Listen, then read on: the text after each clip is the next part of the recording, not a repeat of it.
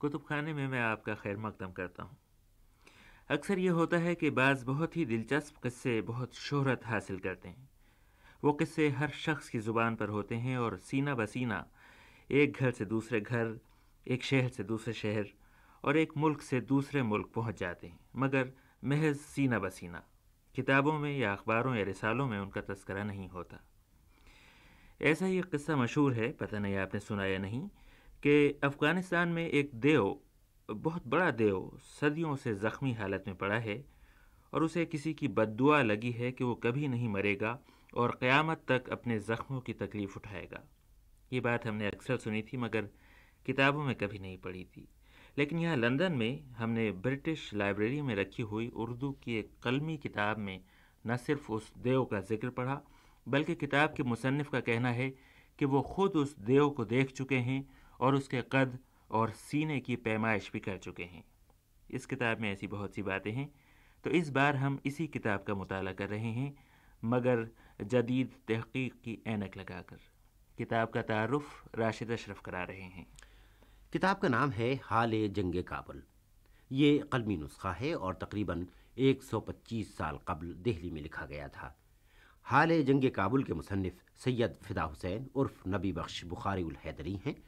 फ़िदा हुसैन अंग्रेज़ी फ़ौज में जमादार थे और उस फौज में शामिल थे, जिसने शाह शुजा को काबुल के तख्त पर बिठाने के लिए अट्ठारह में दर्रे बोलान के रास्ते अफ़गानिस्तान पर चढ़ाई की थी। जमादार फिदा हुसैन मेरठ छावनी में रहा करते थे। जब उन्हें काबुल की मुहिम पर रवाना होने का हुक्म मिला तो वक्त रुखसद उनके बड़े भाई हाजी हुसैन अली खान ने फरमाइश की कि अफ़गानिस्तान का जो अहवाल बचश में खुद देखो, उसको लिख कर मेरे वास्ते लाना। चुनाचे फिदा हुसैन ने एक सौ चौंतीस सुफात की इस छोटी सी किताब में काबुल की मुहिम का सारा अहवाल लिखा। 30 नवंबर 1838 को अंग्रेज़ी फौज शाहजहां से चलकर फिरोजपुर पहुँची, जहाँ वाली लाहौर महाराजा रंजीत सिंह ने कवायद फौज का मुआयना किया और एक एक रुपया फ़ी आदमी इनाम दिया। बहावलपुर और अहमदपुर से गुजरकर ये फौज रोढ़ी पहुँची और पहली बार इसने दरियाए सिंध देखा। लिखते हैं कि दरिया की था लेने के लिए दो हाथी दरिया में उतारे, नहीं मालूम कहाँ गए और किस गिरदाब फना में गर्क हुए। इंजीनियरों ने दरिया पर पुल बांधा और फौज दरियाए सिंध पार करके शिकारपुर पहुँची। एक सौ सैंतीस साल पुराने शिकारपुर के मुतालिक फिदा हुसैन लिखते हैं कि ये शहर नहायत खूब, बाउसलूब, आबाद, रियायत सब आसूदा और महाजन मालदार और कौम बहुत शरीफ इसमें रहती है।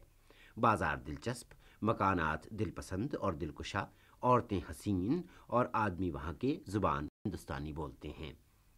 शिकारपुर से कूच करके और सहरा की मुसीबतें उठाते हुए ये लोग दर्रे बोलान से गुजरे, जहाँ बिलोचों ने शपखून मारकर अंग्रेज़ी फौज को सख्त नुकसान पहुँचाया, खसूसन ऊँट बड़ी तादाद में मारे गए, जिन पर लदा हुआ गल्ला भी वहीं दर्रे में छोड़ना पड़ा।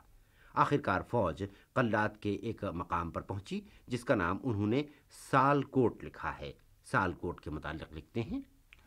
सालकोट एक कस्बा है दरमियान कोह के, लेकिन आध कोस शहर से एक मकान ज़्यारत का है कि जनाब मुर्तज़ा उस मकान पर तशरीफ़ लाए और एक बरछा वास्ते पानी के ज़मीन में मारा।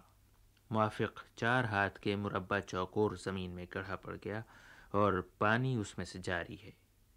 पानी हौस का शीरी और खुशगवार है कि पीने के वक्त सर्द और दूध का मज़ा देता है। एक तकिया भी बना हुआ है, वहाँ एक फ़कीर मीरन शाह रहता है। इसके बाद पूरी किताब में जगह जगह हज़रत अली करमल्ला वजह के अफ़गानिस्तान आने का तस्करा है, जो हम बाद में पढ़ेंगे। कोयटे से चलकर और कंधारी सरदारों के इलाके से गुजरकर ये फौज 25 अप्रैल अट्ठारह को कंधार में दाखिल हुई कि वो खाली पड़ा था। फिदा हुसैन ने कंधार के किले की बहुत दिलचस्प दास्तान लिखी है। आप भी सुनिए। किले में चार सुरंगें बनी हैं।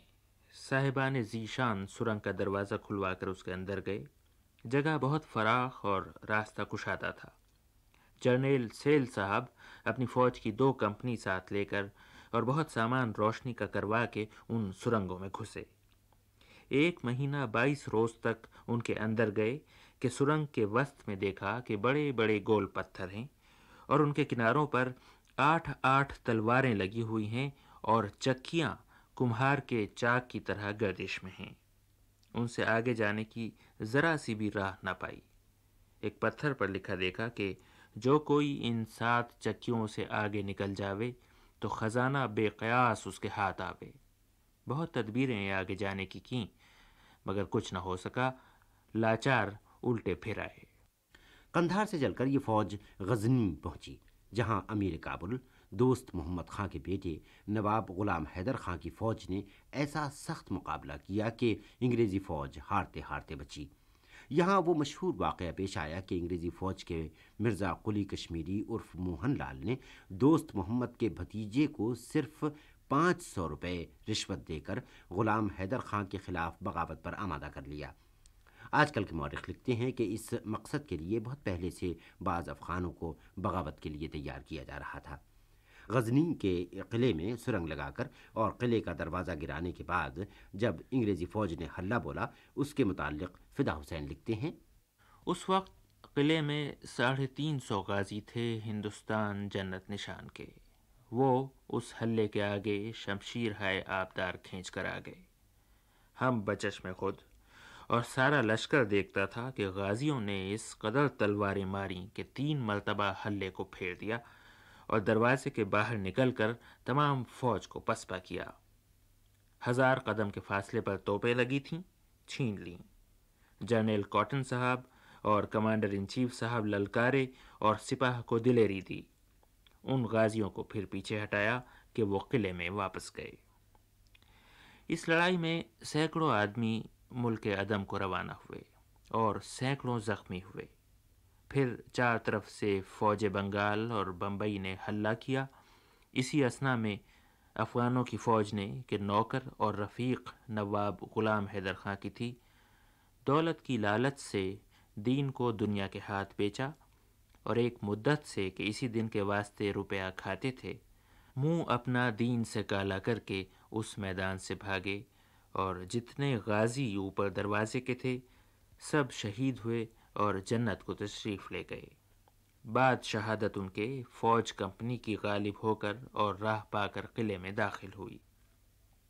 नवाब गुलाम हैदर खां के भागने को नंगोआल समझता था तने तनहा किले में बैठा था, कैद हो गया। उसे कमांडर इन चीफ साहब के खेमे में ले जा के साथ इज़्ज़त बिठाया। उसके बाद वो शाह शुजा के खेमे में ले जाया गया बेहुक्म कुर्सी पर बैठा और बातें सख्त की, बल्कि सलाम भी नहीं किया। उसने पानी पीने को मांगा। बादशाह की सुराही और गिलास हाजिर हुआ, लेकिन उसका पानी पीने से इनकार कर दिया और मिर्ज़ा कुली कश्मीरी उर्फ़ मोहन लाल की सुराही का पानी पिया। इसके बाद गजनी की इस कत्लगाह में क्या हुआ? ये फ़िदा हुसैन ने अपने मखसूस अंदाज में लिखा है। ये वाक़ तारीख़ की किताबों में नज़र नहीं आता। लीजिए सुनिए। सरकार कंपनी की फौज के जो सिपाही कत्ल हुए थे, उनको एक बड़ा सा गढ़ा खोद कर दाब दिया। और गाजियों के शहीदों की लाशें शोहदाय करबला की मानंद, बेगौर कफन पड़ी रहीं। फौज के मुसलमानों ने हर चंद चाहा कि उनको दीन पैम्बर के मुआफ़ दफन करें। हुक्म सरकार न हुआ। कुदरत इलाही से दो शब के अरसे में वो लाशें शोहदा की गायब हो गईं। वल्ला आलम कौन फरिश्ता उनको उठा के ले गया, कुछ पता न लगा हती के निशान खून का भी ज़मीन पर न रहा।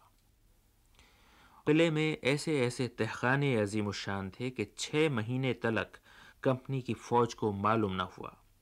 बाद छः महीने के आठ सौ औरत इज़्ज़तदार, कमसिन बच्चे और पाँच सौ मर्द और तीन सौ घोड़े तहखाने से बाहर निकले और किसी तरफ़ चले गए। कोई उनकी राह में नहीं आया। गजनी के इस तहखाने का ज़िक्र बाज दूसरी किताबों में मौजूद है मगर फ़िदा हुसैन ने शायद इस इम्कान पर गौर नहीं किया कि शहीदों की लाशें रातों रात उठाकर इन्हीं तहखानों में पहुँचा दी गई होंगी। बहरहाल हम ये मुहिमा तारीख के महक़ पर छोड़ते हैं। और हाल जंग काबुल के आइंदा सफ़ात का मुताला आइंदा इतवार पर छोड़ते हैं। कुतुब खाना ज़रूर सुनिएगा और इस प्रोग्राम के मुतालिक अपनी राय लिखना न भूलिएगा। अब रज़ा अली आबदी को इजाज़त दीजिए शब खैर।